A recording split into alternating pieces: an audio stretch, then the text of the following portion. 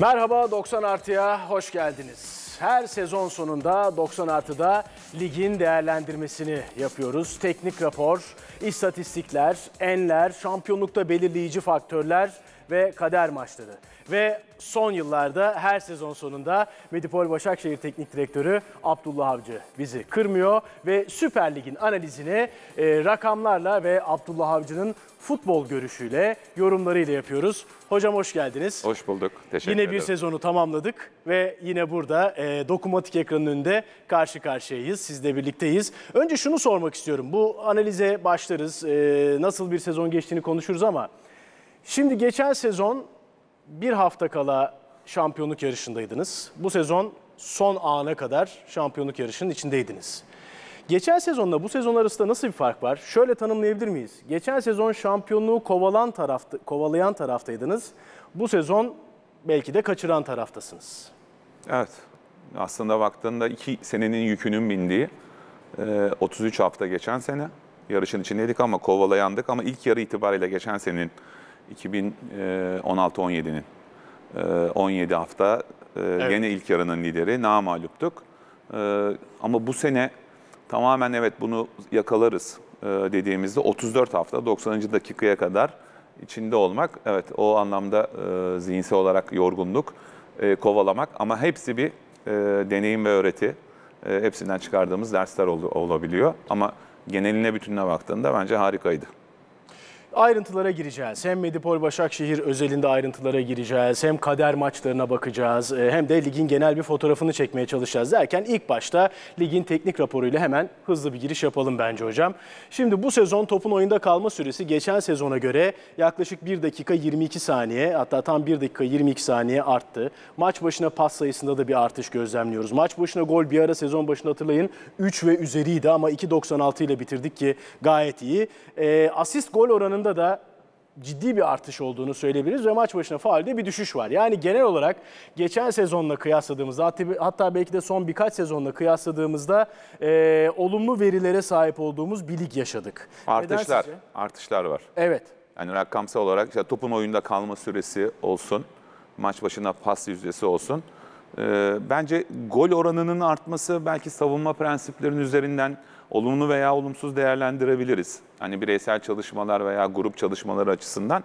Ama genel olarak baktığında e, artış var. Bunun büyük bir ihtimalle e, ligimizdeki oyuncu kalitesinin ee, özellikle geçen sene yabancı sınırın artmasıyla beraber takımlarımızın uluslararası seviyedeki oyuncuların transferiyle beraber e, özellikle o seviyede oynamış. Hem oyuna e, hem tecrübeye hem taktik bilgiye sahip oyuncuların e, takımlarına katkılarını e, bu anlamda çok net bir şekilde görebiliyoruz. E, bu e, olumlu bir gelişim. Umarım e, genel organizasyonun da sahaya, takım oyununun, oyun organizasyonlarının hem savunmada hem hücumda e, daha da artarak yansımasıyla beraber e, ligimizin kalitesi daha iyi olacak diye düşünüyoruz. Ama bununla beraber ligin en yukarısı, dört takımın yarışın içinde sonuna kadar içinde olması, aradaki takımların başka hedeflerin olması, aşağıdaki takımların hedefleri olması bu rakamları da biraz olsun yukarı çektiğini düşünüyorum. Peki bir başka şeye bakalım hocam ee, bu noktada. Örneğin bu sene ev sahibi takımların geçen sezona göre galibiyet oranlarını yükselttiğini görüyoruz. Ki belki de şampiyonluğun da hani Galatasaray adına belirleyici faktörü ev sahibi olarak gösterdiği iç sahadaki performanstı.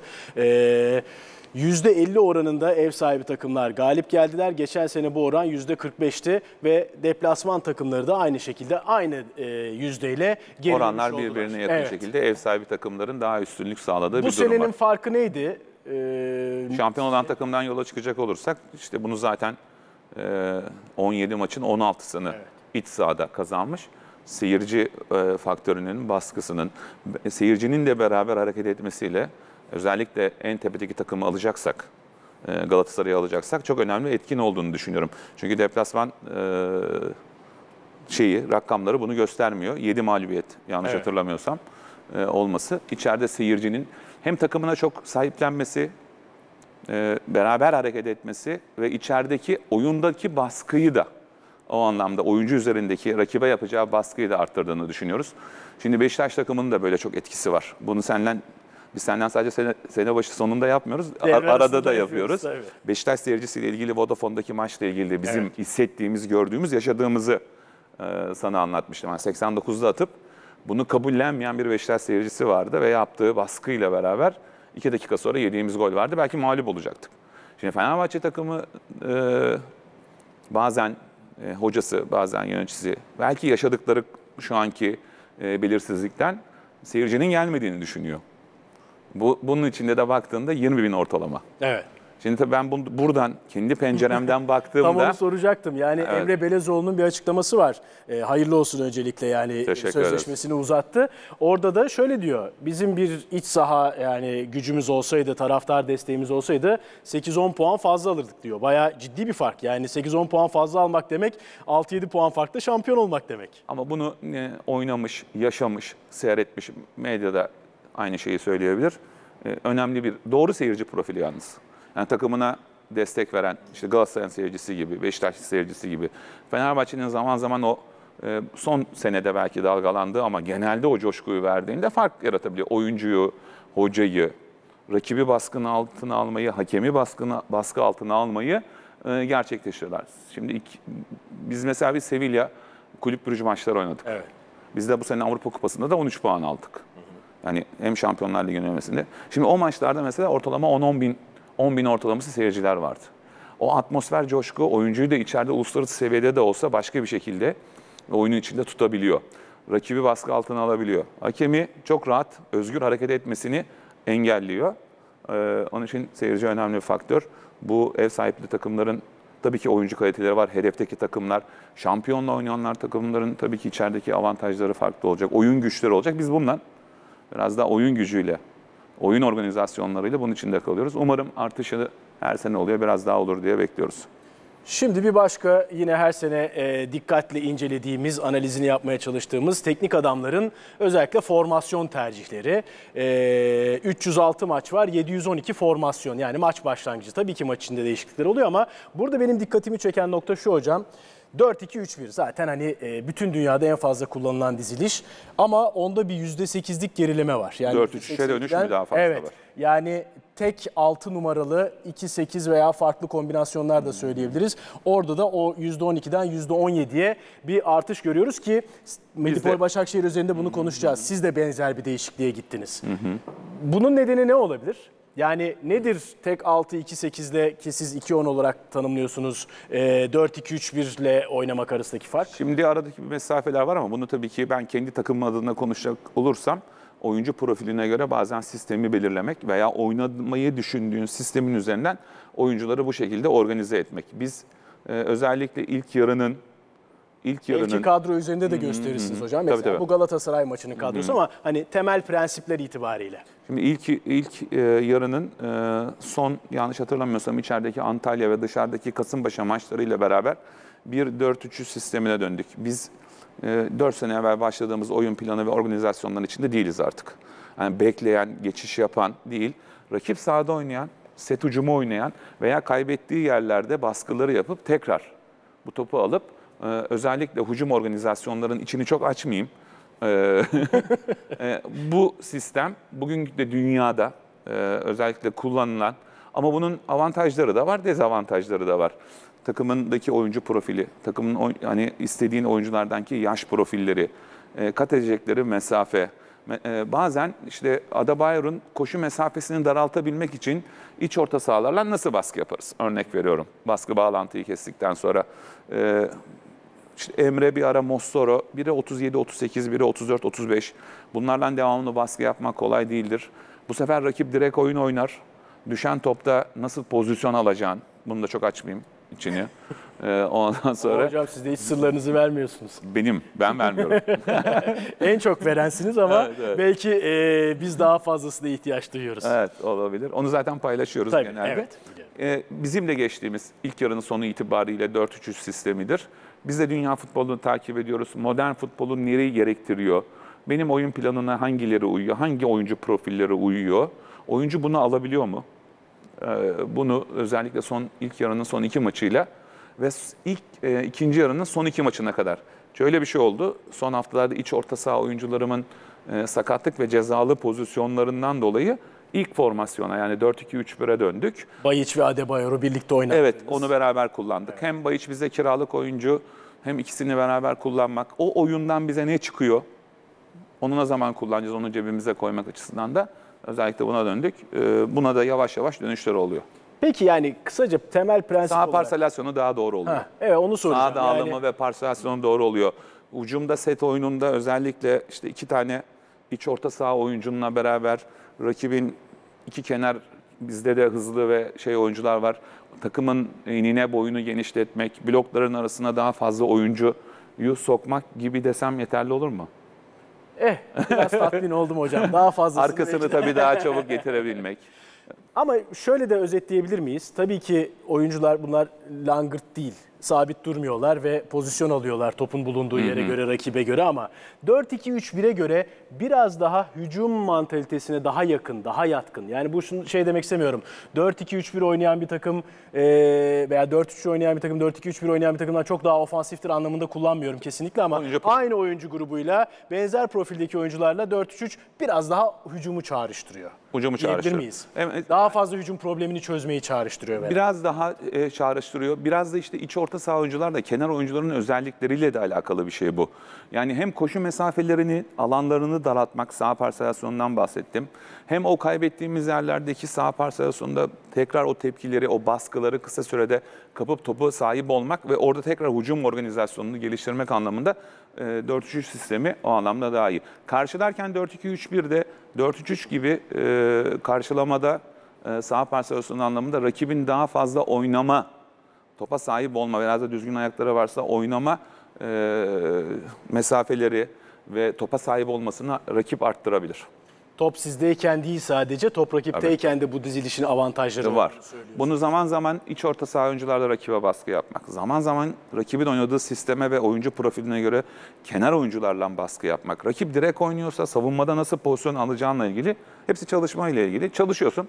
Bazen oyun çıkıyor, bazen çıkmıyor ama tekrarla doğru yani senin için doğru plansa, doğru organizasyonsa tekrarla tekrarla tekrarla bunu daha iyi hale getiriyorsun ama sonuçta sıfırlayamazsın. Bu çünkü bu oyun böyle keyifli bir oyun yani. Peki şimdi biraz kader maçlarına odaklanalım. 29. haftaya siz lider girdiniz. Ee, ama Galatasaray karşısında Türk Telekom stadındaki 2-0'lık mağlubiyetle liderliği kaybettiniz ve Galatasaray şampiyonluğa ulaştı. Bu açıdan bence kader maçlardan biriydi. Elbette 34 e, maçlık bir sezonda pek çok an veya maçı sayabiliriz. Bu maçın biraz ayrıntısına bakalım istiyorum. Çünkü e, elbette bu maça siz e, çok iddialı bir şekilde hazırlanmışsınız. Hatta şunu hatırlıyorum.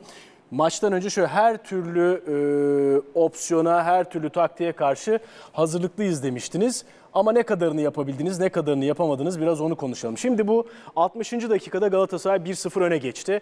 O yüzden burada 60. dakikayı referans aldım. Ve bu bölümde hakikaten e, bazı kısa periyotlar dışında siz çok fazla pas yapıp hücum bölgesine geçemediniz. Bunda biraz zorlandınız ve Galatasaray sizi ciddi anlamda çok pozisyon üretemese de ciddi anlamda e, sizi sizi baskı altına aldı. En azından birazcık daha hapsetti diyebiliriz. İtti diyebiliriz. Ben onu ben ona çok katılmıyorum. Öyle mi? Ee, Peki. şöyle e, pozisyon var mı? Yok onu söyledim ama He, çok pozisyon pozisyon olmasa yok. da dedim. Ee, şimdi Galatasaray takımının e, aynı sistemde 4-3-3. Bizde onlar da öyle oynadılar. İlk yarı ile ikinci arasındaki fark sistem olarak, e, düzen olarak veya tek plan olarak e, bir değişiklik yok. Burada daha şiddetli bir baskı var. İkinci yarıdaki Galatasaray'da. Şiddetli bir baskı. Süper Lig'in ilk, ilk yarısı ve ikinci, İkinci, yarısı. yarısı açısından söylüyorum. Birazdan- Galatasaray açısından Evet. söylüyorum onu. Ee, Daha şiddetli bir baskı var. Savunma daha sert baskı yapıyor, daha sert. Ee, Mesafeyi daha çabuk daraltabiliyor. Aradaki fark buydu. Galatasaray takımı biliyorsunuz son haftalarda hemen hemen her yaptığı baskıda oyunun başında 2-0 öne geçti. Evet. Şimdi biz bir hücum e, anlamında oyunu arkadan gene ayağa basla, pas oyununu e, denedik. Ama bazen de pas oyunundan çıkıp direkt oyunu da e, o maç itibariyle denedik. Oyunun bütününe baktığında e, hatta biz 20 dakikalık bölümde, ilk 20 dakikalık bölümde o baskılı, şiddetli Galatasaray taraftarıyla beraber bunu bize hissettirecek. Öncelikle bunu pasta kırmak. Eğer pasta kıramıyorsak o riski almadan direkt oyunla oynamak, ikinci topu almak ki o gün %62 ile ikinci topu alan bir takımdık. Bizim atamadığımız final pasları vardı. Biz pozisyona girdik mi yok, Galatasaray girdi mi yok. Böyle bir maç gidiyordu oyunun içinde. Ha, Galatasaray içeride bunu hissettiriyor sana. Sen bazen o pas organizasyonunu yapamazsın. Kaybettiğin toplar da olabilir. O işin e, özellikle o yediğimiz golün bir açıklamasını ve bir bunun e, savunmasını e, yapamayız. Harika bir vuruş vardı çünkü Marion'un yaptı. O zamana kadar da maçta pozisyon yoktu. Şimdi e, böyle bir oyunda sen de böyle bir gol atabilirsin. Rakip de böyle bir gol atabilir. Onlar attılar. Onlar öne geçtiler. Oyunun ondan sonraki bölümü de bence öyle geçti. Ama oyunun içinde başka detaylar da var. Evet. Şimdi şöyle bir şey söyledim. Ha, Biz evet. baskımızı... He. Ben birkaç detay paylaşayım mı sizinle Tamam. hocam? Yani kendi gözlemlerim, Tabii, tabii. e, istatistikler doğrultusunda. Örneğin işte baskı noktasında e, az önce bahsettiğiniz e, rakipten kazanılan toplara bakacağız mesela hücum bölgesinde. Burada 15 top kazandı Galatasaray. Bu 90 dakikalık. Biz bölüm. bunu bak oyun Heh, felsefemizden burada- vazgeçmediğimizi Evet. pas organizasyonuyla çıkmaya çalıştık. Çıkıp buralardan da geri kaybettiğimiz toplar oldu. Sırtı dönük aldığımız pozisyonlar vardı. Ama burada Galatasaray'ın yaptığı baskıyı e, evet e, saygı duyabiliriz. Ama biz de oyun felsefemizden vazgeçmeden bunu ısrarla uygulamaya çalıştık. Bu oyunun e, güzelleştirmek için. Özellikle ilk 20 dakikadan sonra aslında baskı kırıldı. Çünkü düşmeler olacaktı. O bölümden sonra da biz biraz daha topa sahip olup ikinci buçuk, iki buçuk bölgede kaybedip döndüğümüz toplar oldu. Bu savunmanın yaptığı, rakibin Galatasaray'ın yaptığı savunmanın sert baskılarından kaynaklandı. Bu noktada biraz da e, elbette tek taraflı bir oyun değil e, futbol. E, rakip de var sonuçta işin içinde ama burada pas yüzdenisin bu karşılaşma özelinde ki e, en çok pas yapan takımısınız ligin. E, çok düşük olduğunu gözlemliyoruz. %77.8. Tamam. Herhalde siz incelemişsiniz bu, bu sezon bu oran yani 80'in altına düştüğünüz maç yoktur. Yoktur. Doğru. Yetme, çok yakınız ama o maçta daha azdı. Evet. Şimdi e, şöyle Değerli söyleyeyim. 85'ler, Bu bir 90, savu- 90'ın üstü bazı Tabii tabii maçlar. tabii. Şu- Bu bir savunma şekli değil. E, yanlış da anlaşılmasın. Şimdi oyunun ilk yarısının daha başında e, Donk'un yaptığı foul var. Evet. Doğru mu? Çok net bir şekilde yaptığı bir foul var. Hakem eleştiri anlamında falan maçı kaybettiğimiz anlamında da söylemiyorum yani. Şimdi Donk'un burada sarı kart görmesi gereken yerde Donk bunun arkasından 5 foul daha yaptı. Biz foul yapılan oyuncularla iki sarı kartla cebimizde içeri girdik. Oyuncuların oyuna girmesi, baskı yapmasının bu sefer kontrollü oyuna dönmeye başladı. Yani sadece burada zihinsel e, yaşadığımız durumu söylüyorum. Devre arası giriyorsun, iki tane iç orta sahan oyuncun ve kaliteli oyuncun oyunda problem çözecek. Belki iç orta sahaları baskıya çıkaracağın yerde bunu yapamıyorsun. Donk ikinci yarıda 5 faulle daha devam etti. Şimdi bu faulü sarı kartı en kötü sarı kartı görseydi oyunun belki de merkez orta sahadaki oyunu bu şekilde akmayacaktı. Bu başka bir boyut. Evet. Peki bu noktada e, yine bir e, Arda tabii Arda'yı biraz daha uzun konuşacağız ama mesela bu maçtaki e, detayda Arda'nın pas yüzdesine bakalım hemen. Yüzde yetmiş. Şimdi Arda'nın genel ortalamalarını da birazdan ekrana getireceğiz. Hani bu maçta özellikle e, belki sayısal olarak 6 pas çok az gibi görünebilir ama Çok netice etki- itibariyle kritik noktalarda e, sizin de belirttiğiniz gibi diğer arkadaşları da çok yüksek yüzdeyle oynamadılar. Şimdi e, görüntü olsa keşke böyle final final yap, final var veya çıkarılırsa gol atacağı çok doğru buluştuğu, durduğu yerler vardı.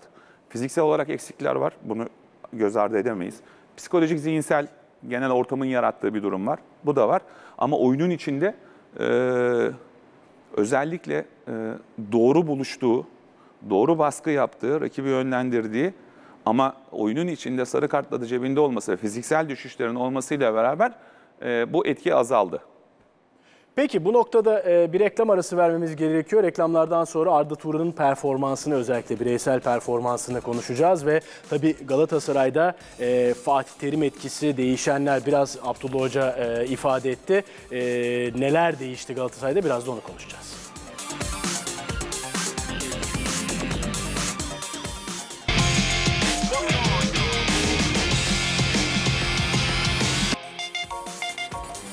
...90 artıda yeniden birlikteyiz. Medipol Başakşehir Teknik Direktörü Abdullah Avcı'yla sezonun genel bir değerlendirmesini, analizini yapıyoruz. Arda Turan'da kalmıştık hocam.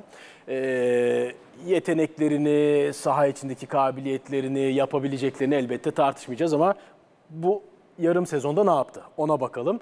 Aldığı süre e, yarım sezonda %41, %50'nin de altında kaldı. Bir gol, iki asist üretti. E, maç başına pas 49,5 pas yaptı. Pas yüzdesi %88'di. Ceza alanında 2.2 kez topla buluştu maç başına. Şut asisti de yani gole dönüşmese de verdiği hazırladığı pozisyonlarda 1.3 yine e, maç başına. Burada özellikle şut asisti rakamı biraz daha bu sayı biraz daha artabilir miydi? Yani arkadaşlarına daha fazla pozisyon araya hazırlayabilir miydi? Biraz daha çözücü Gol olabilir 2 miydi? olması lazım yalnız. Efendim? Gol 2 olması lazım. Aa Bursa'ya da attı değil mi? Bursa'ya attı, Kayseri var. Doğru özür Ha, dilerim. Gol 2 Bu- olması lazım. bu- Doğru, olsun sorun değil. Evet, iki gol, iki asist. Şimdi bir kere e, biraz evvel konuya girerken Arda Turan'ın e, oyunculuk ve yetenekleriyle ilgili olan bölümünü ifade ettin zaten. Evet. Dünyanın e, en önemli iki tane takımında forma giymiş bir Türk oyuncudan bahsediyoruz ki bir de 16 yaşından itibaren tanıdığım, elimde büyümüş, e, hala ilişki ve iletişimimizi olmadığı sürede de sürdürdüğümüz bir oyuncu. Atletico'yla bir Avrupa'da savunma nasıl oynanırı oynadı. Ee, Barcelona'da da bir hücum setini oynayan bir oyuncudan bahsediyoruz. Zıt iki, Zıt iki ama en iyi seviyede yapan. En, iyi, en yüksek seviyede oynamış bir oyuncudan bahsediyoruz. Oyun aklı inanılmaz ve bununla Avrupa'da beraber taktik bilgisi inanılmaz derecede gelişmiş bir oyuncudan bahsediyoruz. Her şeyi biliyor. Oyunda oturuyorsun. Çünkü Barcelona'da oynamış, Atletico'da oynamış. Benim öyle bir egom yok. Biz bunu düşünüyoruz. Orada ne yapıyorlar bu konuyla ilgili? Evet hocam bu doğru. Bak biz de antrenmanda bunu yapıyorduk. Bunu konuştuğun, paylaştığın, fikrini söylediği ve takımın içindeki grup enerjisinin yani bunu söylememe gerek yok Arda'nın kişiliği ve karakteriyle ilgili son derece yukarıda olan bir oyuncudan bahsediyoruz. Ama çok dalgalı bir süreç Barcelona'dan sonra. 41 milyon euro gibi bir para verilip 6 ay bekletilen bir oyuncudan bahsediyoruz. Barcelona yapıyor bu yatırımı. Oynamadı biliyorsunuz. Sonrasındaki süreçte eee, iyi bir performans, milli takımda oynamadığı süreç. Sonrasında da sakatlık ve uzun süre oynamadan bize gelinen bir durum var. Bizim aslında planlamamız şuydu. Parça parça atacaktık. Eee, parça parça atmaya başladık işte Bursa maçı, Evet. e, Fenerbahçe maçına kadar Konya maçı parça. Ama Arda şöyle bir oyuncu. Sonradan oyuna girdiği zaman, hamle oyuncusu olarak girdiği zaman oyundaki o performansını arttıran bir oyuncu değil. Ya kafadan oynatacaksın, onu uzun süre kullanacaksın. O, o anlam ondan sonra geri çekeceksin. Biz bunu böyle planlarken Fenerbahçe maçıyla e, içerideki ilk Fenerbahçe maçıyla bunu başlatmaya planladık. Oyunda o gün istediğimiz gibi gitmedi. Evet. Ama Arda'nın e, antrenmandaki verileri, performansı her sefer fizik olarak yukarı çıkmaya başladı. Trabzon maçında bunun oyunun başlangıcıyla 70 dakika çok sağlıklı gitti. Ve kazandığınız bir maçtı. Gençler Birliği maçı haftası çok iyi gitti antrenman. Sakatlandı. 3 hafta, arkasından bir haftada milli takım arası 4 hafta bizden tekrar uzak kaldı. Sonrasında da Akhisar maçıyla ikinci yarısında daha iyi performans, ilk yarıyı demiyorum oyunun. Sergilerken eski sakatlığından, kemik ayrılmasından şu anda ayağında bot var. Evet performansı inişli, çıkışlı, dalgalı olmaya başladı ki Sivas maçında yaşadığı talihsiz olmaması gereken. Hani Emre gibi, Arda gibi Türk futbolunun yüzü olmuş, Avrupa'da oynamış oyuncuları kaybetmeyelim. Bunlar 30 yaşındalar. Biri 37-38 yaşında. Bunlar Türk futboluna daha sonra da başka türlü hizmetler de edecekler. Onun için biz bunları kazanma yoluna gidelim. Şu anda yaşadıkları e, çok güzel, e, sıkıntılı bir durumlar, süreçlerden buna hepimizin destek olması lazım. Biz bunu kazanma yoluna gitmemiz lazım. Performansı inişli çıkışlı oldu. Beklenti tabii ki daha fazla. Arda Turan'ı alıyorsun Barcelona'dan. Ama e, bu da bunu biliyor zaman zaman ama çok da fedakarlık yaptı. Sakat sakat oynamaya çalıştı. Doğru mu değil mi? Bunu hepimiz önümüzdeki sene değerlendirmesini yapacağız. Şimdi önümüzde bir hem sağlığıyla ilgili hem cezasıyla ilgili bir iki aylık süreç var. Siz biraz erken e, ilk 11'i aldığınızı düşünüyor musunuz? Acaba birkaç hafta daha bekleseydim dediğiniz şimdi geriye dönüp baktığınızda. Çünkü siz muhasebe yapmayı çok seven ve Tabii, kendi e, öz eleştiri yapmayı çok seven bir teknik adamsınız. Böyle bir sonuca vardınız mı? İki şey var bununla ilgili. Bir Arda kenar oynuyor, bir iç orta saha oynuyor. Hani bunu Barcelona'da da oynadı. E, Atletico'da da oynadı. Ben milli takımda da oynatmıştım. E, o zaman 4-2-3-1 düzeninde içeride oynamış. Elya'nın sakatlıktan çıktığı pozisyon böyle yani Elya daha sakatlıkta yeni çıkmıştı. Kenarda kullandık. Mossoro sakatlandı. Elinde Arda gibi bir oyuncu varken e, şimdi bunun başka arayışlarına gitmek onun aklı bazen fiziğinin Bazen hızı, düşünce hızı onun önüne geçebiliyor. Böyle bir oyuncu çünkü. Ne zaman pas atacak, nerede pozisyon alacak, pozisyon bilgisi çok iyi. Bunu oynayarak e, kazanmak bana daha mantıklı geldi. Onun için de zaman zaman kazandığımız da oldu. Performansı yüksek olan maçlar da oldu. Takımın onunla beraber dalgalanan performansı da oldu. Buna böyle bakmak lazım. Tekrar edelim. Arda Turan bu sene 2 gol 2 asist üretti Medipol Başakşehir'de. O hata için e, özür dileriz. Şimdi tekrar buradan e, Galatasaray'ın bir teknik adam değişikliği yaşadı Galatasaray. Özellikle deplasmanda çok büyük bir problem yaşıyordu. Igor Tudor'un yerine 17. haftada Fatih Terim göreve geldi. Ne değişti? Tabii daha çok puan topladı Fatih Terim'in Galatasaray ama en belirgin değişen şey e, maç başına yediği gol. Yani Igor Tudor dönemi 1.3 gol yerken neredeyse yarı yarıya azaldı bu. 0.7. Muslera'nın toplam 13 gol yemediği maç var. Bunun 9'u e, Fatih Terim döneminde oldu. Ve yediği kafa gollerinde de burada bir e, pozisyon alma mı değişti, konsantrasyon mu değişti? Ne dersiniz hocam gözleminiz ne? Yediği kafa golü toplam 6 iken Terim döneminde e, 3'e düştü. Şimdi burada tabii konsantrasyon, çalışma da olabilir. Savunmada duran top çalışması da olur. Bilemiyorum bu anlamda. Ama iki takım yani iki dönemin arasında değişen biraz daha şiddetli baskı. Hani seyircinin bir bütün olması, e, takımını sahanın içinde doğru itmesi, e, savunmada ve hücumda sert baskı yapması aradaki fark birazcık e, böyle, ortaya ortaya çıktı. Seyircinin bütün halde hareket etmesi ister istemez oyuncu. Çünkü bununla beraber oyunun başında da çok e, hemen skorlar aldılar. 1-0, 2-0 öne geçtiler.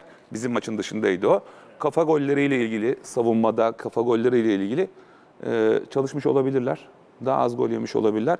Ama bence Muslera'nın iki perde arasındaki bireysel performansları artan oyuncular da oldu. Bunu da bu şekilde değerlendirmek lazım. Ama istatistik rakamlarına baktığında çok uça giden bir durum yok ama e, doğru zamanda doğru şekilde kazanmak mı diyelim buna? Doğru hamleler mi diyelim, doğru enerji mi diyelim? Örtüşüp e, bunu en iyi şekilde sonuçlandırdılar.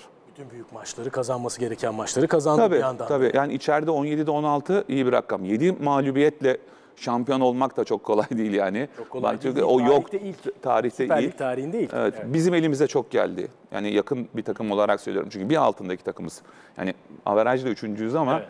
puan olarak bize çok kırılma maçlarımız oldu. Hani ben Galatasaray, Fenerbahçe, Beşiktaş maçlarını bir kırılma maçı olarak adlan- adlandırmıyorum. Hangi maç sizin için kırılma? Bence iki tane var. Elimizdeki cebimizdeydi bunlar. Biri Konya'daki 1-0 galibiz 92. dakikada.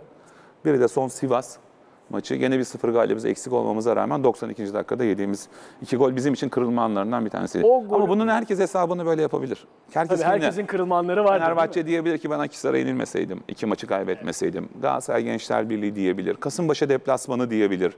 Beşiktaş işte Şampiyonlar Ligi'nden sonra içeride çok berabere kaldım diyebilir. Bizim çok cebimizdeydi yani. Belki o anlamda söylüyorum yani. Yanlış anlaşılmasın. Ee, peki şimdi genel istatistiklere de e, şöyle bakmak istiyorum hızlı bir şekilde. Ee, topa sahip olma oranında elbette ki şampiyonluk adayları e, birbirine çok yakın sıralandılar. Beşiktaş %58'e yakın, siz %57.1, Galatasaray %56.2, Fenerbahçe %54.5. Bir de pas sıralamasına bakalım ama maç başı en çok pas yapan takım sizsiniz. Şimdi topa biraz daha az sahip olarak nasıl daha fazla pas yapıyorsunuz? Bu Topun oyunda kalma süresi. Bizim maçlarda e, topun oyunda kalma süresi e, en fazla topun oyunda kaldığı takımlardanız. E, oynanan bütün maçlarda 10 tane e, en fazla topun oyunda kaldığı 5 maçta Başakşehir Futbol Kulübü var.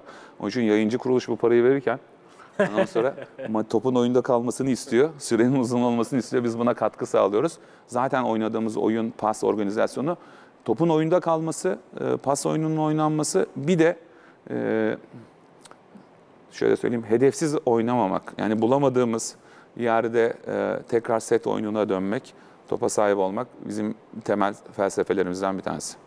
Son olarak pastan konu açılmışken Galatasaray'ın şampiyonun en güçlü pas bağlantılarına bakalım. Fernando'dan Belhanda'ya, Maicon'dan Mariano'ya, Belhanda'dan da Rodriguez'e. Aslında oyunu çok net özetleyen bir e, tablo değil mi Galatasaray'ın ne oynadığını, nasıl oynadığını, nasıl hücum ettiğini, nasıl oyun kurduğunu. E tabii. Evet. Yani o, e, hepsi birbirine bağlantılı yakın oyuncular zaten. Maicon sağ stoper, Mariano sağ bek. E, Galatasaray Ama kanadı bazen direkt oyunun çok fazla onun içindeki detaylara bakmak lazım. Hani organizasyonlar var mı yok mu? Detaylar ne? Ona bakmak. Bizde mesela pas e, oyununda bireysel olarak baktığında ligin ortalamasında en fazla bizden oyuncu var. Evet, birazdan onları da göstereceğiz. Hepsine bakacağız. Şimdi e, bir reklam arası daha vereceğiz. Reklamlardan sonra devam edeceğiz.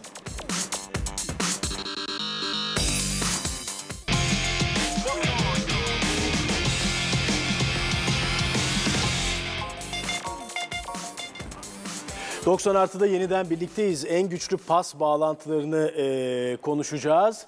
E, az önce tam Galatasaray'da o konuyu konuşmuştuk. Şimdi e, hocam sizin en güçlü pas bağlantılarınıza bakalım sezon boyunca. Kaysara'dan Visca'ya, Epriano'dan Klişe'ye, Visca'dan da Kaysara'ya. Yani burada iki sağ kanat oyuncusunun birbiriyle olan alışverişinin aslında takımın en güçlü pas bağlantısı olduğunu görüyoruz. Evet yani orada tabii ki o topun oraya gelmeden evvel Emre'nin e, özellikle ters attığı toplar var. Şimdi sağ bekte sahne oyuncusunu söylüyoruz. Evet. İşte ikisi de atlet, ikisi de e, bekin de özellikle derinlik verdiği hücumcu bir bek olması. Organizasyonları baktığında çok doğru çalıştığımız ve bunu da sahanın içinde uygula. Bazen bundan bazen teknik adam olarak şikayetçi de olabiliyorsun. Çünkü hani burada çok çıktığı yerde belki bir bu kadar da pas hatası ol- olabilen e, oyunlarda çıkabiliyor. Epriano Klişi sol stoper, sol bek. Klişi gibi bir oyuncunun Gael Klişe'nin iki ayaklı olması bu pasla bağlantısının ve pas yüzdesinin artmasını da sağlıyor ki Epriano'yu söylememe gerek yok. E, bu anlamda son derece e, düzgün ve organizasyonun başladığı ayaklardan bir tanesi. Bazen rakibin karşılamasına göre bu opsiyonları değiştirebiliyoruz. İşte, işte üçlüye de nasıl pozisyon alacağımızla ilgili. Dörtlü kurarsak nasıl pozisyon alacağımız, rakip bizi nasıl karşılarsa değişik organizasyonlarda bu anlamda çalışıyoruz. Evet bu e, hemen hemen birbirine yakın çıkan rakamlar. Ee, bir başka bakacağımız noktada az önce siz hani e, Kasımpaşa maçıyla birlikte yani ligin İlk yarının ilk yarının son haftasıyla birlikte değişen oyununuzu e, biraz tarif ettiniz. Ben de hani rakamlarla ona bakmaya çalıştım. Aslında ilk yarı ile ikinci yarıda topladığınız puan aynı. Attığınız gol bile aynı hocam. o ilginç. Yediğiniz gol 5 haftalık ortalama puan ortalamamız da aynı biliyor musun? Efendim? 5 haftada bir 10 puan. öyle mi? Sivas maçı öncesi bunu söylediler. Yani o gün e, maçı kazandığımızda o şeyi O- geçmiş olacaktık. Doktor Değişmedi ha. değişmedi gene. 5 maçta bir 10 puan oldu yani. Yediğiniz gol de neredeyse aynı maç başına. Topa sahip olma oranınız biraz daha e, artıyor. Pas sayınızda çok isabetli pas sayınızda çok küçük de olsa bir artış oluyor ama en temel fark benim gözlemlediğim ve rakamlardan gördüğüm uzun top sayısı. Yani maç başına 15.8 uzun top gönderirken siz e, iki, ligin ikinci yarısında 6.9 yarıdan daha az neredeyse. Yarı yarıya düşüyor daha da fazla hatta. Arkadan oyunu kurma organizasyonunun ısrarla işte e, çalışmanın sene başından itibaren çalıştığın zaman yani bunu iki antrenmanla çalışıp artık bunu iyi uygulayacağızdan dan çok tekrarla çalışmada ve bunun içinde önemli bir ayaklardan bir tanesi de kalecinin ayağıdır. Çünkü bir fazla oyuncunun bulunduğu e, oyuncu odur. Bunu da kullanarak kullandığımız organizasyonlar. Bundan bazen şunu da dedim. Bir gün canımız yanacak, yanacak. Bir belki bir daha yanacak. Bu oyun içinde bunlar Birazdan canınızın yandığı bir maçı konuşacağız Evet, Fenerbahçe evet, maçı. evet, o yanacak ama bunu uygulamaya çalışacağız. O rakamların yüzde yüze yakın değişmesinin sebebi bir kaliteli oyuncu grubu var, düzgün ayaklı oyuncu grubu var. Ee, bununla beraber çalıştığın organizasyonlar var. Kaleci dahil kullandığın ama sabrın da çok e, gerektirdiği bir oyundur bu. Aynı zamanda oyuncunun da keyif aldığı, sen de dışarıdan bunu seyrederken e, keyif aldın. Ama rakibin opsiyonuna göre bazen bunu da değiştirdiğin, bazen direkt oyuna düşüp ikinci topu almak, rakip sahada bu oyunu oynamak da zaman zaman e, rakibin analizlerine göre tercih ettiğimizde bir oyun olabiliyor. Az bir süremiz kaldı ama kaleci demişken eee, Volkan Babacan'ın ayağından değil de daha çok yani elinden bir maçta bir anda çektiniz. E, Demir Grup Sivas Spor maçında Eee, herhalde bir kalecinin başına gelebilecek en talihsiz gollerden biri. Doğru. Eee, o gol, o an ne hissettiniz o golü yediğiniz zaman? Volkan ne hissetti? Açıkçası onu da merak ediyorum. Şimdi e, herkes kalecinin elini konuşuyor da biz de Volkan'ın ayağını çok kullandık herhalde elini unuttuk o arada. Olabilir. Gerçi en son gene ayağına çarpıp giriyor. top. Topuğuna çarpıyor. Ayağına da Evet, çarpsa evet girmeyecek belki. Topuğuna çarpıp giriyor. Volkan 4 senedir çok istikrarlı bir şekilde e, bize hem gelişimi, işte biraz evvel dedik elden çok ayağa geçtik. Artık bugün Avrupa'da kalecilerin yani uçan kaleci değil ayakta kalan kaleci, pozisyon doğru alan kaleci ve oyunu kuran e, kaleci pozisyonuna geçtik. E, iyi duygular hissetmedi. Ama bir hafta evvel Osmanlı maçını oynarken orada 1-1 iken maç çok net. Maçın belki de bize tekrar dönmesini sağlayan 4-1 kazandık belki skorda rahat gibi gözüken bir şey ama aslında orada Volkan'ın kurtardığı bir sürü var. Hatalı yedikleri de var. Bu oyun içinde böyle var. Ee, üzüldü. Ee, duştan çıkmadı herhalde belki bir saat.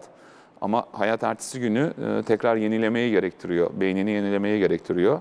Onun için e, bir sonraki maça en iyi şekilde hazırlandık. Çünkü o seviyede, uluslararası seviyede oynayan bir kaleci artık e, bunları e, yaşayacak, daha da aza indirecek inşallah. Çok az zamanımız var. O golün Galatasaray'ın ve aynı şekilde Fenerbahçe'nin de üzerindeki baskıyı, özellikle Galatasaray'ın üzerindeki baskıyı biraz hafiflettiğini düşünüyor musunuz? Çünkü Yani Galatasaray'a bir beraberlik hakkı tanıdı. Tabii. Yani o ligin belki de e, kırılma anlarından bir tanesiydi. Çünkü son haftaya girildiğinde baktığında e, belki bir e, beraberlik bile bizi şampiyon yapabilecekken e, rakibe bir beraberlik opsiyonu sağlamış oldu.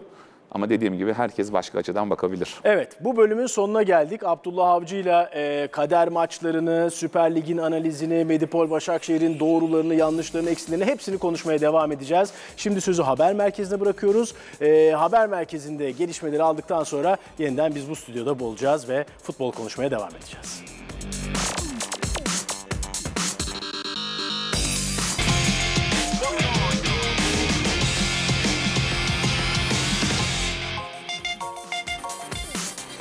...90 artıda yeniden birlikteyiz. Medipol Başakşehir Teknik Direktörü Abdullah Avcı ile sezonun geniş bir analizini yapıyoruz. Arada kader maçlarına da bakıyoruz ve bu kader maçlarından bir tanesi de elbette e, Fenerbahçe'nin Medipol Başakşehir'i ligin ikinci yarısında 2-0 mağlup ettiği maçtı. Fenerbahçe tekrar yarışta var oldu e, bu galibiyetle birlikte. Şimdi bu şu açıdan ilginç bir maçtı aslında hocam. Ee, %61 oranında topa sahip olan taraf sizdiniz bu karşılaşmada. Yine pas sayılarına baktığımızda e, çok ciddi oranda e, Medipol Başakşehir'in Fenerbahçe'ye göre çok daha fazla pas yaptığını görüyoruz. E, 613 pas yaptı. Ama ve lakin e, mesela ceza alanı içinden şutlara bakalım. Akan oyunda bunları inceleyelim.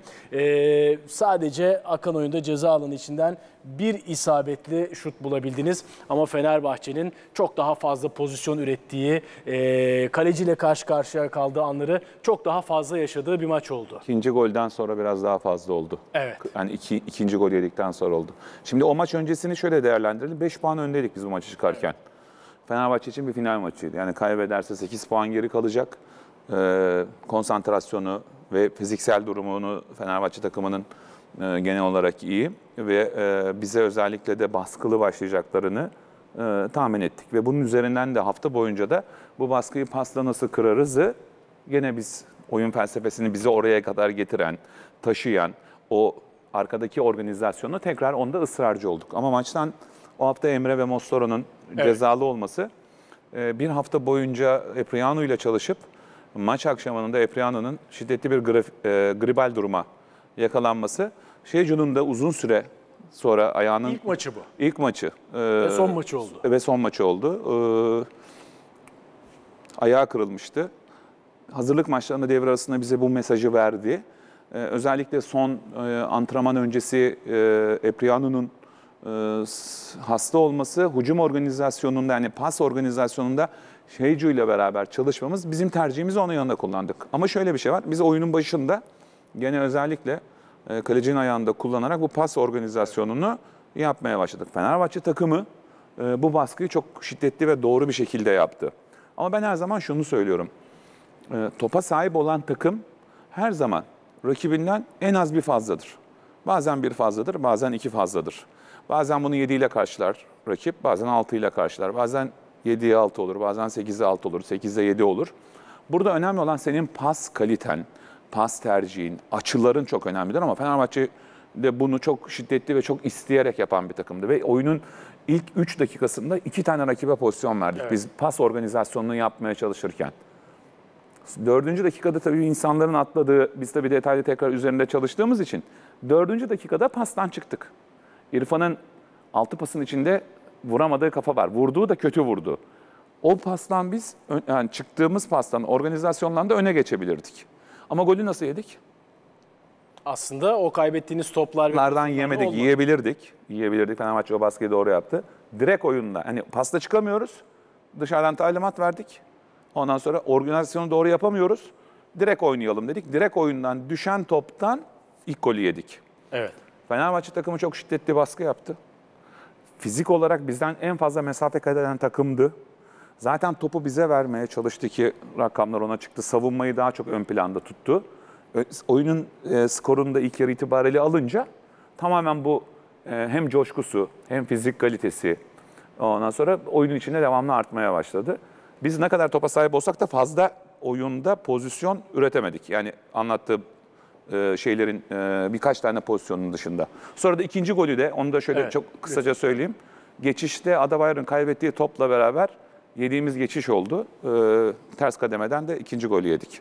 Şimdi tabii çok az farklı birbirinden ayrılıyor bu değerler. Onu belirtelim hemen. Hücum bölgesinde top kazanma yani. Fenerbahçe, Beşiktaş, Medipol, Başakşehir ve Galatasaray burada hakikaten ayrışmış durumda. Rakiplerine e, birinci bölgelerinde, savunma bölgelerinde baskı yapmaya e, çalışan ve bunda e, nispeten başarılı olan takımlar. Aslında burada sizi e, özellikle bu birinci bölgeden oyun kurma veya savunma bölgesinden oyun kurma noktasında sizi en çok zorlayan ve hataya sevk eden takımlardan biri Fenerbahçe oldu. Doğru. Ve ee, şöyle bir istatistik vardı bu karşılaşmayla alakalı. Şimdi Medipol Başakşehir bu maça kadar e, savunma bölgesinde en çok pas yapan ve en yüzdeli pas yapan takımdı. %93.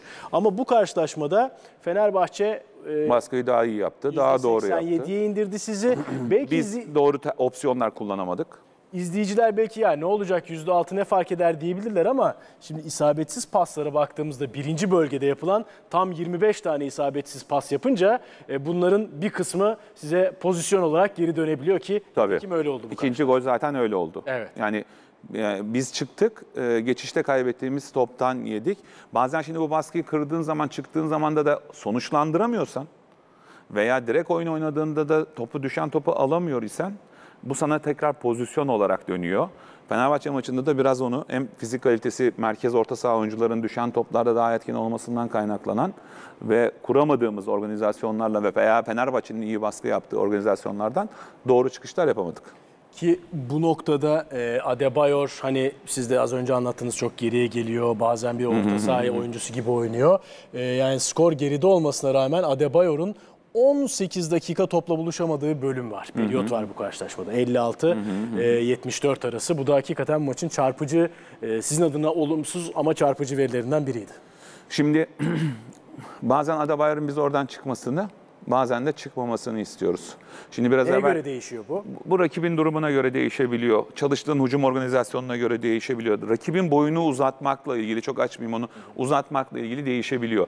Biz o gün onu biraz daha merkezde kalıp rakibin e, boyunu uzatmak, organizasyonu doğru yapıp orada onu buluşturmaktı asıl temel hedeflerden bir tanesi. Ama baktığında eğer bu baskıyı Fenerbahçe doğru yaptı veya biz yanlış kullandık, çıkamadığında Adebayor'la da bu bağlantıyı bu sefer bu anlamda tamamen o süre içinde de kopuk olmuş oluyor.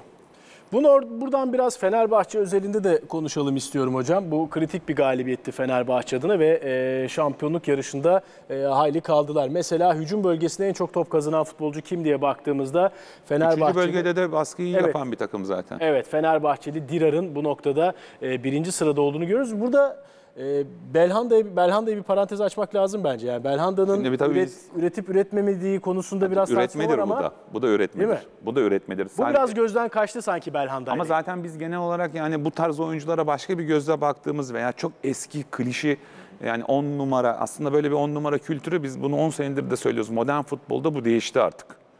Yani 8 numara gibi olacak. işte box'lı box'lı oynayacak, iç orta saha oynayacak. Baktığında hücum bölgesine top kazanmadan bahsediyoruz. Esas değerli olan yaptığı şeyi bizi aslında ortaya çıkarmıyoruz baktığında. Ee, Onun için e, biraz daha futbola bakış açımızı dışarıdaki insanların bu anlamda biraz daha değiş- değiştirmemiz lazım. Çok doğru bir şey yapıyor ki Bacci'yi zaten e, bizdeki oyuncuydu daha evvelden. O da çok doğru ve sağlıklı bir oyuncu. Yani şey anlamında, baskı anlamında. Hacı'nin defansif orta saha yani savunmaya en yakın adam olarak bunu bu bu seviyede bu e, Üçüncü bölgede şeyde- baskı yapıyorsan Evet değil mi? onu da e, özellikle öne doğru çıkartmışsa Bu kadar çok kazanması, top kazanmış olması ilginç yani bu sıralamaya girmesi o Kayseri- açıdan ilginç bence. Ama Kayseri ilk yarıda itibariyle öne baskı yapan e, yapan ve özellikle merkezden de bir tanesini Bahçe fizik kalitesi yüksek bir oyuncudur, tempolu bir oyuncudur. Büyük bir ihtimalle Şamil'i merkeze tutup onu biraz daha öne baskıya çıkarttılar. Tabii Babel'in de bu listede olması aslında bence çarpıcı. Babel, e, Babel e, bence özel ve kaliteli hem oyun bilgisi olan hem arkaya koşu hem vuruş hem içeride buluşma yapabilen kaliteli bir oyuncu. Tekrar şimdi asıl konumuza dönelim. Fenerbahçe'yi biraz konuşalım. Şimdi Aykut Kocaman 11. hafta itibariyle Osmanlı Spor maçından sonra bir karar verdi ve hatta şöyle tanımladı kendisi. Bilmiyorum e, takip edebildiniz mi?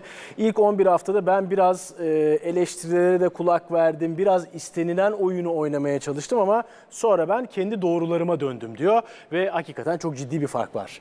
1.54 puan 2.45 puan ortalaması. Attığı gol 1.9'dan 2.5'a çıkıyor. Ceza alanında topla buluşma sayısı neredeyse %50 artıyor. Ceza alanından şut sayısı %50 artıyor neredeyse. Hücum bölgesinde top kazanma sayısı artıyor ve hücum bölgesindeki isabetli pas sayısı artıyor. Yani zaten puanda da çok ciddi bir e, fark var. Bu iki oyunu, iki tercihi ama buna rağmen de e, çok da eleştirildi Fenerbahçe. Ki liginde en çok gol atan takımı da oldu bir yandan da. Şimdi Bu iki oyunu nasıl kıyaslarsınız? Şimdi hocanın çalıştığı yani kendi planı, organizasyonu veya oyunculardan aldıkları performans veya oyun planlarını hoca daha iyi biliyor. Çünkü onu beraber onlarla yaşayan, hani biz nasıl 4-2-3-1'den 4-3'e çektik, oyuncuları bu şekilde kullanıyoruz, nasıl daha verim alabiliriz? Hoca da bu şekilde verim almış ve bunun da baktığında istatistik rakam olarak sahaya olumlu yazmış. O zaman yani hocanın kendi elindeki oyuncu profiline göre yaptığı işin bu rakamlar doğru olduğunu destekliyor. Bence bu rakamların biraz artışının Fenerbahçe'nin derbi maçlarını önceden oynaması, sonlara doğru takımların hedefsiz kalmasında bu rakamların biraz daha artış olduğunu düşünüyorum. Kasımpaşa maçı gibi, Konya maçı gibi, Karabük maçı gibi. Yani Karabük de ligin dengesini biraz bu anlamda Evet, her bütün takımlar için olumsuz oldu değil bütün mi? takımlar için bir tek Alanya'yı yendi galiba yanlış hatırlamıyorsam. Evet, bir tek Alanya. Ondan sonra onun dışında olumsuz oldu. Hiç berabere de Hani kalmadı. istatistik anlamında, gol, skor anlamında, pozisyona girme anlamında. Şimdi ben Karabük takımına mağlubiyetim var ilk yarı itibariyle. Şimdi şöyle bir durumda devrede ben çekiliyorum diyor, küçülüyorum diyor. İkinci yarı itibariyle başka bir senaryo çıkıyor. Buna hiçbir şekilde kimsenin müsaade etmemesi lazım. Yani federasyon mu veya bir başkası mı da ligin kalitesinin marka değerini düşürmesini de sağlıyor aynı zamanda. Biraz o rakamların sonlara doğru. Yani derbiler bitti. Artık tamamen kazanabileceği bir e, artık oyunlar ve oyuncular şeyler var, rakipler var. O rakamların biraz arttığını, oyunun çok değişmediğini ama rakamların rakiplere göre biraz daha arttığını düşünüyorum. Oyun değil daha çok sonuç değişti diyor. Evet. Aslında e, hani yine neden çok eleştirildi Fenerbahçe? Belki bu tablo bize biraz daha bir şeyler anlatabilir. Şimdi bu gol asist oranı e, izleyicilerimize biraz anlatmaya çalışayım. Yani gollerin yüzde kaçı asistle yapılıyor? Bazen çünkü öyle goller oluyor ki tesadüfen oluyor, kendi kalesine oluyor, top oyuncunun önüne düşüp oluyor. Gerçekten bir asist, bir pas sonucu veya bir orta sonucuya atılmış goller. Şimdi burada e, Medipol Başakşehir takımınız birinci sırada 62 gol ama yüzde 81. Yani her 5 golün 4'ünde bir hazırlık, bir organizasyon veya en azından bir final pası var. E, Beşiktaş bu anlamda ikinci sırada, Aytemiz Alanya Spor üçüncü sırada, Galatasaray ilk dörtte yüzde 72'li ama Fenerbahçe 16. en sırada. çok gol atan takım olmasına rağmen e, yüzde 60 oranla ligin sondan üçüncüsü bu anlamda. Son haftalarda gol sayısının artmasıyla da kaynaklanan bir artış var aslında sayı olarak. Ama geneline resmine baktığında biraz daha e, direk oyunun e, olduğu, düşen topun alındığı, işte kenar ortaların birinci, ikinci, üçüncü bölgeden zaman zaman hedefli, zaman zaman hedefsiz olduğu bir oyuna bak bakıyoruz. Bizim açımızdan konuşacak olursak. Ee, Bunu her zaman söylüyorum. Artık bugün futbolda e, bazen Anadolu'da seyirci bağırıyor daha orta sahaya gelince e, orta yapsana diye. E, Bu bazen oyuncuda baskı olabiliyor. Bazen teknik adamda baskı olabiliyor ama bugün oyun artık onu gerektirmiyor. İşte üst düzey takımlarda baktığımızda ceza sahasının köşesine kadar indiğinde dahil eğer hedefteki atacağı oyuncu yoksa tekrar set oyununa dönüyor. Hem topa sahip olma oranın hem oraya yerleşme parselasyonunun daha da artıyor. Hedefteki oyuncuyu doğru bir şekilde bulduğunda biz bunu çalıştığımız için bizim asist yani gol asisti sayımız son derece fazla çıkıyor. Beşiktaş maçında bunu her iki Beşiktaş maçında da görmüş olman lazım. Doğru mu? Evet. Yani bunu diğer maçlarda da e, Beşiktaş maçında ayrıca konuşacağız. Ya hep görmen kaybettiğimiz lazım. maçları konuşmayacağız hocam. tabii merak tabii tabii etmeyin. yok yok o anlamda söylemedim. Yok, biliyorum biliyorum. Yani bütün maçlarda var. Onun için bu hedefsiz orta sana geçiş olarak dönüyor. Bunu Sivas maçında bedelini ödedim. Hedefsiz bir ortanın sonucu 92. dakikada geçiş yiyip yerleşmeme rağmen golü yedik. Bireysel hata vardı falan. Onun için bizimkisi tamamen hedefe e, bir asist, bir pas ve bunun çalışmayla hani sahadaki pratikle e, karşılığında ve ısrarcıyız bu konuda. Bunu da geliştiriyoruz. Hemen iyisini yapamayabiliriz ama oranlar artması en azından doğru yaptığımızı gösteriyor. Ee, bu noktada Fenerbahçe'nin bir de en güçlü pas bağlantılarına da ee, bakalım. Burada ilginç bir durum var hocam. Hasan Ali Valbuena çıkıyor birinci sırada. Şimdi Val- Hasan Ali ile Valbuena'nın arkalı önlü olması çıkar ama Ama, hani Valbuena'nın aldığı süreye kıyaslarsak. Ama Val- Valbuena, Valbuena bilmiyorum ama yani e, blokların dışına çıkıp ayağını almayı, onun ayağından almayı da seven bir oyuncu olduğu için o sayı biraz o anlamda rakam. Aldığı yer doğru yer mi? Etkili yer mi?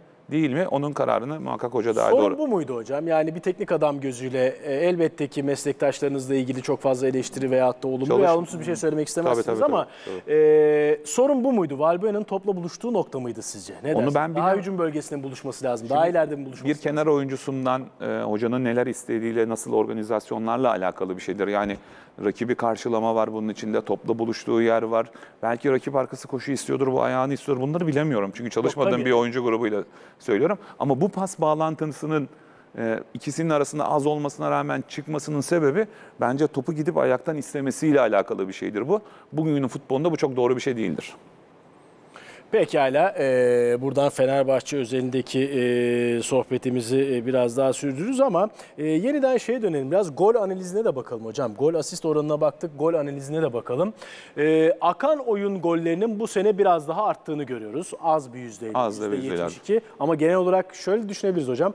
Gol sayısı çok arttı. O yüzden bu yüzde ikilik artış bile bence e, o açıdan bakarsak değerli olabilir. Onu zaten şeyle de ilgili söyledik. Oyuncu kalitesinin artmasıyla beraber e, ama tabii bununla beraber de savunma prensiplerini biraz daha fazla çalışmamız gerekiyor. Onun Bütün takımlar adına zeminde, Evet. Yani dün akşam bile bunun örneğini Real Madrid şey maçında e, Liverpool Şampiyonlar Ligi finali en üst düzey maçta da e, görebiliyorsun, Ki yaşayabiliyorsun. onu da konuşacağız. İzleyicilerimize buradan söyleyelim. Şampiyonlar Ligi finalini de konuşacağız. Ee, duran topların oranı %28'den %26'ya indi. Onu da kendi içinde biraz daha doğrusu e, bütün golleri oranlarına baktığımızda e, serbest vuruştan atılan gollerin azaldığını görüyoruz hocam. Hakikaten de yani bu istatistiği gördükten sonra şöyle bir golleri hızlıca hafızamdan geçirmeye çalıştım. Böyle frikik golü bu sene çok fazla atılmadı. O oyuncu grubu mu yok? O oy- oyuncular mı pek yok? Belki vuruş kalitesi, belki kaleciler, belki barajın doğru kurulması. Onları çok dikkat ettiğim Evet. şeyler değildi, rakamlar değildi. Yani çok fazla frikik golü olmadı hakikaten yani doğrudan Akan oyunda bence artması güzel bir şey. değil mi? Yani aslında bu oyuna öyle bak. siz bunu söyleyen teknik adam en çok duran top golü veyahut da biz- özellikle ligin ikinci yarısında ilk yarısında hocam siz akan oyundan daha çok neredeyse abartarak söylüyorum duran top golü atıyor. Tabii ama şimdi iki tane şey bunda çok önemlidir. Bir akan oyun, iki durağan oyun. Bunun içinde taç dahil vardır. Taçtan yenilen ve atılan goller vardır. Başlayan oyunlar vardır veya savunmada doğru almazsan yiyeceğin goller, verdiğin pozisyonlar vardır. Yani top sende, top rakipte bir de topun dışarıda olduğu bölüm vardır. Duran top vardır. Onun için e, duran top da bizim için aslında bu sene maç trafiğinin çok yoğun olmasından dolayı hücumda ve savunmada ee, biz savunmada bu sene sıkıntı çektik duran toptan. Evvelki senelere oranla. Belki genel, geneli daha düşük olmasına rağmen belki diğer takımlardan çok tekrar yapamadık. Maç trafiğinin yoğunluğundan bir de yaş ortalamamız yüksek bir takımız. Ondan sonra bazen e, toparlanmalar ve sakatlanma riskleriyle beraber dinlenmelere, rejenerasyonlara geçtiğimiz anlar da oldu. Ee, tekrar Fenerbahçe üzerinde bir konuya dönmek istiyorum. Giuliano üzerinden dönmek istiyorum hocam. Ee, Giuliano'nun burada özellikle e, pas trafiğine bakacağız. En çok e, bu maçta Fenerbahçe adına. Bizim maçta. e, evet. Bizim maçta zaten Giuliano ile Fernando e, top rakibe geçtiğinde yani bize geçtiğinde e, görüntüsünü oyuncular üzerinden gösterebilirim istersen. Pozisyon olarak mı diyorsunuz? Rakipteyken olan anlamında söyledim. Tamam. Fenerbahçe'nin kadrosunu mu istiyorsunuz hocam? Evet. Tamam. Fenerbahçe'de top rakibe bizim maçta geçtiğinde şunları da şöyle alabilirsen Evet. Atıf gelmiyor. Tamam. Fernando dahil buraya geldiler. Böyle bir blok set oldular. Evet. Yani bu takım savunmasına hocanın da çok dikkat ettiği bir şey. Bizim de istediğimiz bir şey bu. Bugün dünya futbolunda olmazsa olmaz bu. Hani diyorlar ya Fenerbahçe takımı e, savunma mı oynar? Top rakipteyken oynar. Dünyanın her takımı oynar. Oynamak zorundadır. Bunu oyun böyle oldular bizim maçta. Yani bu pozisyonu aldılar. Ve hiç pozisyon Savunma o anlamında yüzden tabii merkezi çok iyi kapattılar. Sen topa sahip oluyorsun ama buralarda çevirmek, boşlukları bulmaya çalışıyorsun. Çabuk kayıyorlar. Fizik kalitesi iyi. Bunlara saygı göstermek lazım. Ee, e, Giuliano, Hı hı. Giuliano üzerinden Evet, konuşuyordum. Giuliano üzerinden biraz konuşalım. Yani Giuliano profil olarak çok az top kaybı yapan, e, ceza sahasında çok Baskı yapabilen. yani Tabii, tabii. e, hani takımı onun etrafında kuruyorum demişti Aykut Kocaman. Doğru. Hakikaten neden onun e, yapıldığını gösterdi biraz bu ama Anahtar oyuncu. Daha etkin nasıl kullanılabilir sizce Giuliano? Ya, beni daha şimdi etkin bir oyuncudan bahsediyoruz. İki tane oyunun iki yönünden de olumlu bir şekilde Giuliano'dan bahsedebilir miyiz? Bahsedebiliriz. Takım savunması yapmaya çalışıyor mu biraz evvel gösterdiğimiz yapıyor. Top ondayken az top kaybı yapıyor mu? Yapıyor. Evet. Hücum organizasyonunda çok yüksek. Ha, hücum organizasyonunda ceza sahası içinde gol yapabiliyor mu? Az top kaybı yapabiliyor mu? Evet. Yani Daha ne yapsın diyorsun? yani yani bu oyuncu bununla beraber belki daha fazla hücumla beraber onun asisti, onun golünün sayısı da belki artacaktır. Onun da biraz da oyuncu profilleri belirler. Pekala bir ara daha vereceğiz. Ee, aradan sonra Beşiktaş'la Medipol Başakşehir'in Beşiktaş'ı yendiği maçta dolayısıyla Beşiktaş'ın performansıyla devam edeceğiz.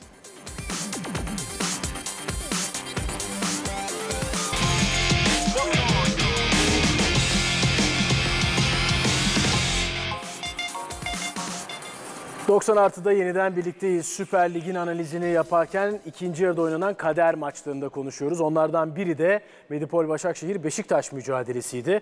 Hocam Beşiktaş maçına çıkmadan önce hem Emre hem Arda yoktu. Ee, ve savunmada da e, Da. Costa'ya evet Epriano'nun yokluğunda Da Costa'ya e, şans tanıdınız bu karşılaşmada. Da Costa da uzun zaman oynamıyordu aslında. Doğru. Ya bu sene çok fazla şans bulmadı. Doğru. Neydi bu maçta Da Costa'ya sizi yönelten? Şimdi e, hatta Alanya e, maçından sonraydı ki o süreç. 4-1 mağlup olduğumuz maçtan sonraki süreçti. E, Beşiktaş da o hafta Bayern Münih'le e, Deplasman. Vodafone'daki. Ha, Vodafone'daki maç. İlk maç oradaki 5-0 buradaki Doğru, evet. e, 2-0'dı galiba değil mi? 2-0'lık maçtı. E, maç e, haftasıydı. Beşiktaş da gerçi rotasyonla çıkmıştı o gün e, Bayern Münih maçına. Evet. E, o da bizim maçlardan normal e, hedeflerden bir tanesiydi. Costa tercihi neden? E, bir Bayern Münih maçı üzerinden ekiple beraber çalıştık biraz. E, özellikle e, Beşiktaş'ın e, merkezi çok kullanarak hücum ettikleri var.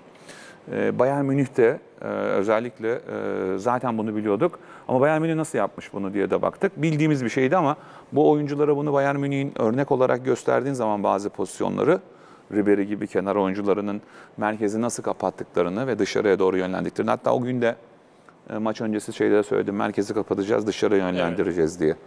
E, merkezi kapalı tutmak son derece önemliydi. E, Beşiktaş'ın ligin en fazla kenar ortası yapan takımıydı birinci, ikinci, üçüncü bölgeden. Ama biz 11'e 11 oynandığı süreçte hem merkezi doğru kapattık hem e, kenara atıldığında da kenara doğru çabuk kaydık. Onunla ilgili bir istatistik paylaşayım hemen o zaman. Bu 62 dakikalık bölüm yani Kayseri atılana kadar, Kadar ki olan bölüm. alanı içinden isabetli şutlar Beşiktaş'ın tek bir isabet. Ortaları neymiş? Ee, ceza 60. dakikaya kadar. Hemen bakalım ortalara o zaman buradan. Ortalara Yani bu o, o temel felsefemiz merkez kapalı. Evet. Kenara yönlendiriyoruz. 5 isabetli orta var. 5 orta mı var? İsabeti de mi var? Evet 5 tane isabetli Ne orta. var? İstiyorsanız 60'tan tamamına sonraki bakalım. isabetliye bakalım. 60'tan 60'tan sonra yapılan orta sayısına bakalım, Bakalım bence. hocam 62-90 arasına Ee, hemen bakalım. Orada 23 orta yapmış Beşiktaş'ta oyuncular. Sadece 2 isabet bulmuşlar. Şimdi buradaki Costa neden tercihi? Bir eksik kaldığımızdan dolayı orta sayısı arttı. Çünkü hem merkezi kapatıyoruz. Kenara kaymalar da bu sefer geç oluyor. Beşiktaş takımı da özel merkez kapalı olduğunda ortalar yapıyordu. Costa tercihi bu yüzdendi. Yani hem size hem stoper hem yüksek top için e, ve bunlardan da yanlış hatırlamıyorsam 3 tanesine falan vurdu Beşiktaş takımı. Yani diğer 27 veya 23 ortanın Evet. hemen hemen ortalama 20 tanesini etkisiz hale savunma karşıladı. 23 ortanın ikisi isabetli olmuş. Doğru mu? sadece. Onlar da Yani- bir pozisyona dönüşmedi bu arada. Pozisyona yani dönüşmedi, O evet. bölümde de ceza sahası içinden bir şutu var Beşiktaş'ın Talişka ile o da isabetsiz. Onu da Evet. söyleyeyim izleyiciler. Evet, evet. Yani plan şuydu. Merkezi kapalı tutacağız. 11'e 11 oynarken de kenara yönlendireceğiz ve kenara çabuk kayacağız. Orta sayısını azaltacağız. Yani merkezi eğer açık tutarsak merkezden daha çok etkili oluyordu Beşiktaş takımı. Oyuncular da bunu son derece doğru uyguladılar. Orta sayısının ikinci yarıda artmasının sebebi sayı oyunda 60'tan sonra eksik kalmamız. Ona bu sefer de Costa'nın doğru tercih çıkması yani atılan ortalarda savunmada doğru pozisyon almak. Bununla ilgili bazen çalışmalar da yapıyoruz. Yani e, sadece stoperi, size'lı stoper oynattım. İşte gelen ortaları bu karşılayacak, bu değildir. Nerede duracaksın? Eğer parçalar e, kenara kaymışsa dün akşamki maçta da örneği var. İstersen şöyle bir kısa göstereyim onu. Eğer Evet. sağ dağılımını açarsan. Tamam. Mesela şöyle yapalım kadrolara basalım. Bu olur mu? Olabilir. Yani orta. Kenara atıldı. Klişe karşıladı. Doğru mu? Evet. Diyelim ki burada da Uğur var o maçta. Tamam. Kenar ortalarda. Aslında burada 3 rakip 3'ü 3 olabilir. Evet. Doğru mu?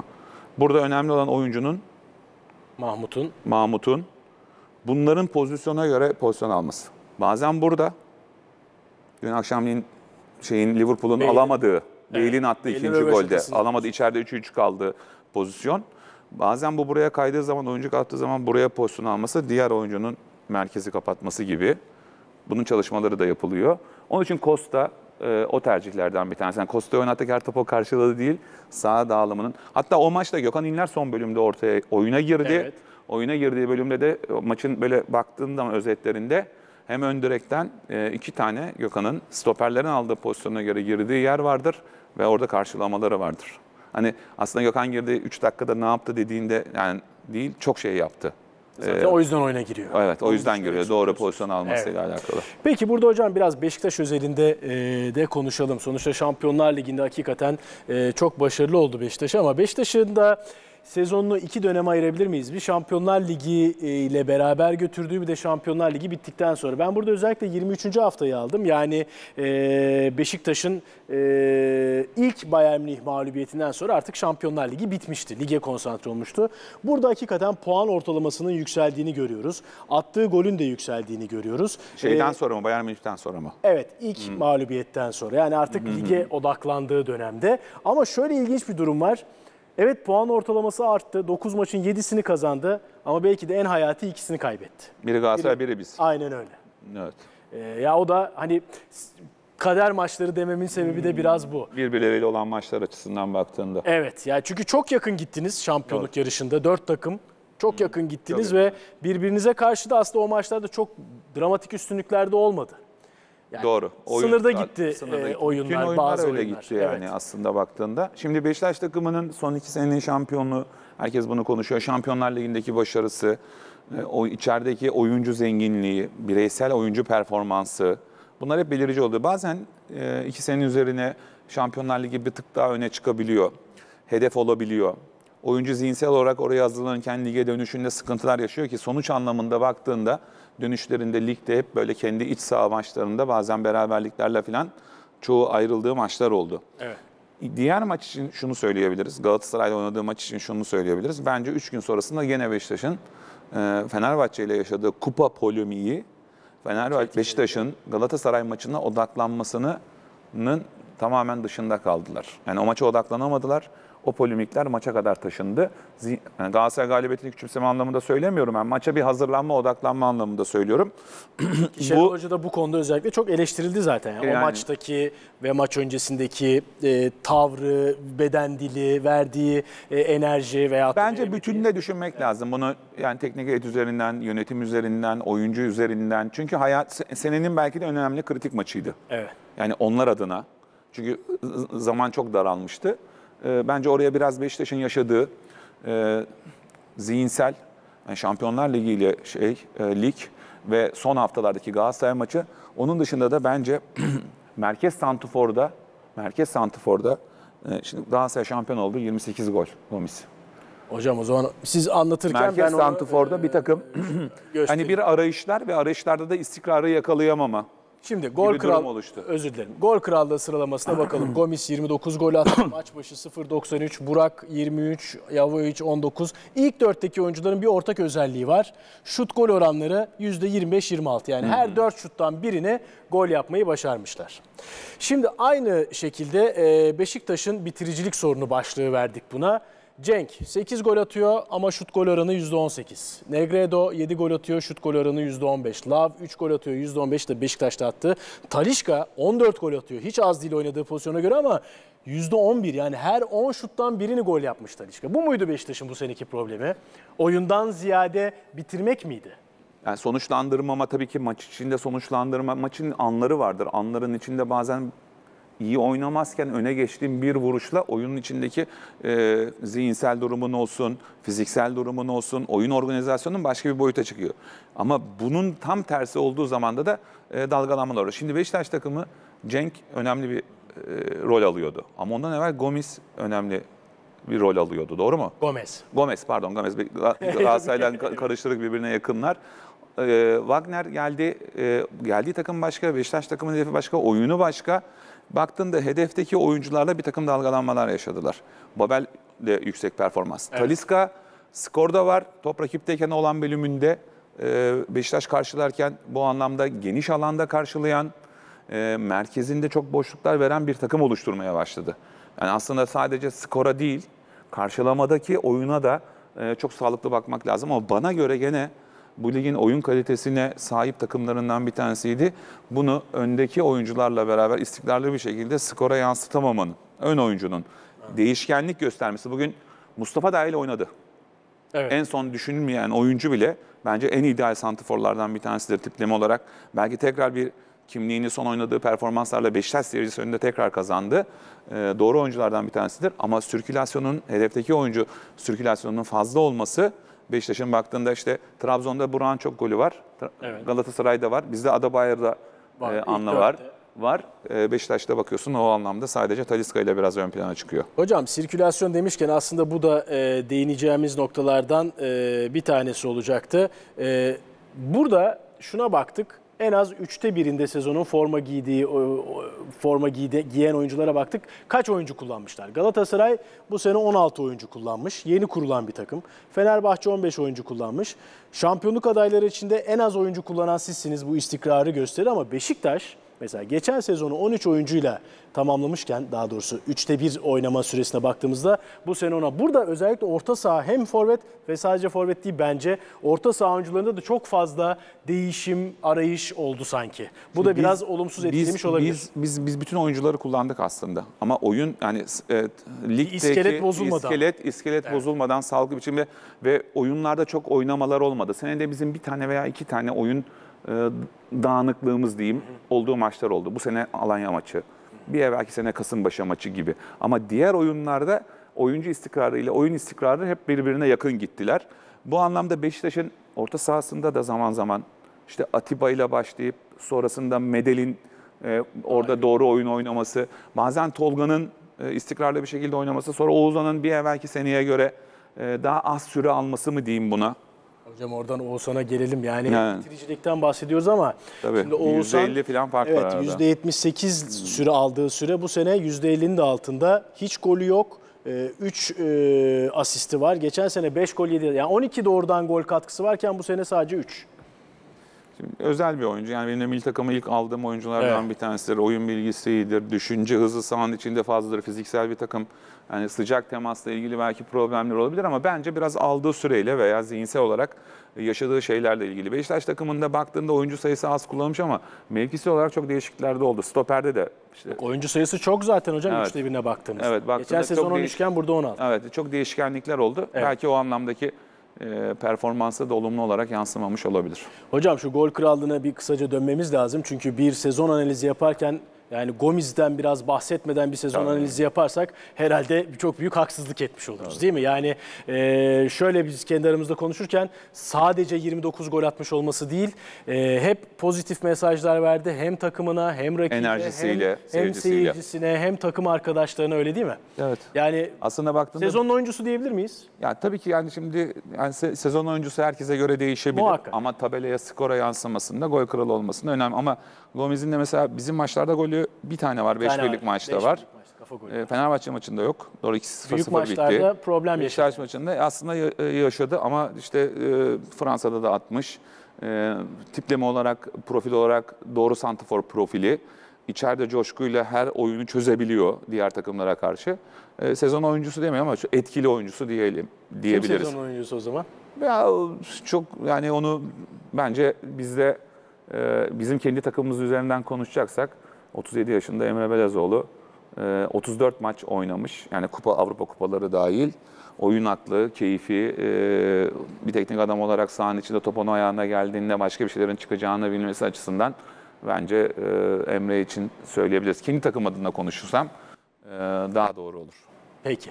O zaman bir kısa ara verelim. Aradan sonra Şampiyonlar Ligi finalini konuşacağız Abdullah Avcı ile.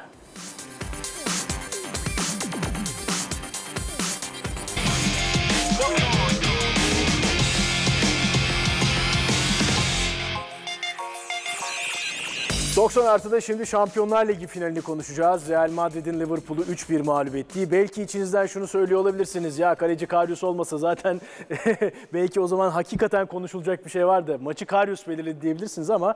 E, ...Abdullah Hoca'nın elbette ki gözlemleri olmuştur karşılaşmayla ilgili. Ne Sen diyorsunuz hocam? Real Madrid'i yazmışsın zaten e, 4-4-2 baklava diliminde. 4-3-2. yani baklava dilimi derken şunu kastediyoruz Evet. şöyle. Şurası. Elmas da diyor özellikle yabancı. 60. dakikadan sonra 4-3-3'e döndü. Hocam onu soracağım Ha. şimdi. Ama e, önce bunu Liverpool'da buna konuşalım. karşılığında 4-3-3 oynadı. gösterelim hocam. Evet Liverpool zaten klasik 4-3-3. Bir Evet. numara, 2-8, 3 hücum oyuncusu, bir santforun yanında iki kenar oyuncusu. O değişikliği soracağım hocam size. Isco oyundan çıktı, yerine Bale girdi. Ee, Bale oyuna dahil oldu sağ kanada, Ronaldo sola, Benzema'da. Yani aslında burada 4-3-3 formasyonuna döndü. Neden Zidane böyle bir hamle yapmayı gereği hissetti sizce? Biraz daha genişletmek için mi hücumu? Hem genişletmek için e, hem rakibi karşılamada şöyle oyunun başından şöyle kısaca anlatırsak şöyle bir şey çıkartabiliriz. Şimdi 4-4-2 baklava dilimi Liverpool 4-3-3. Evet. Şimdi maçın e, şeyine baktığında e, Liverpool takımı bunu daha evvelden de yapıyordu. Kenar oyuncularla stopere baskı yapıyorlardı. Oyunun ilk 15 dakikalık bölümünde de aslında ben oyun maçtan evvel şunu düşünüyordum. Liverpool bir yerden hem hızlı olan hem baskı yapan bir takım. Bir yerden de deneyimli bu turnuvanın topa sahip olan bir takım. Topa sahip olmak mı kazanacak, hız mı kazanacak diye. Şimdi böyle bir durumda beş- e, Liverpool takımı 15 dakikasında bu baskıyı doğru yaptı ve topa sahip oldu. Topla oynama oranı daha fazlaydı. Aslında maçın geneline baktığında e, attığı şutun 8 tanesini falan yanlış hatırlamıyorsam ilk 15 dakika içinde attılar. Evet. Toplamda attığı şutun. 15 dakika içinde yanlış hatırlamıyorsam 8 şut attığı Salah rakamları var. kadar. Yani Salah 30 çıkana kadar. yani, evet. Yani Salah o baskıları yaptı. Burada tabii ki çözüm noktaları da var yani şey için Real Madrid için. Hem topa o baskıyı kırdıktan sonra kalabalık orta saha, topa sahip olma, beklerin derinlik vermesi, boşta bekleri bulmak. Hani Real Madrid adına söylüyorum bunu. Bulmak onun için de çözüm noktalarından bir tanesiydi. Ama bu karşılamada da şöyle bir sıkıntısı vardı şeyin Real Madrid'in. Eğer Bar- e, Liverpool takımı pas organizasyonunu doğru yapsaydı e, karşılamada Real Madrid adına da çok büyük sıkıntılar vardı. O pasas topa sahip olup o organizasyonu yapamadığından dolayı etkin oyuncuların da olması hatta maçın belki de çözüm noktası e, kaleci üzerinden belki maç anlatılabilir. Tabii. Ama aslında bir biriken ki iki takımın sistem üzerindeki Değişiklikler mi? değişiklikler ve özellikle sabırla topa sahip olan Real Madrid takımı ve sabırla kenarda beki bulmak. Biraz evvel anlattığım pozisyonda e, Liverpool'un ceza sahasının içinde 3 oyuncuyla kalıp Real Madrid'in de 3 oyuncuyla kalması, eşleşmesi ve ekstra bir vuruşla beraber oyunun bence döndüğü andı. Dün gol programında süremiz çok azaldı ama e, Liverpool geçiş oyununu çok iyi oynayan bir takım ama işte o ilk 15 dakika dışında neredeyse hiç o fırsatı bulamadı Real Madrid. Topa sahip olma %65'ti. Şu da ama bir de Real Madrid topa sahip olurken sabır dediniz az önce. Evet. Yani kontrollü topa sahip olur. Tabii. Çok hızlı bir şekilde öne gitmek gibi bir derdi Değil, yok. değil. Bu da Liverpool'un geçiş oyununu engelledi. engellemiş. Topa sahip olmak, sakin oynamak, her seferinde iyi pas atamazsın.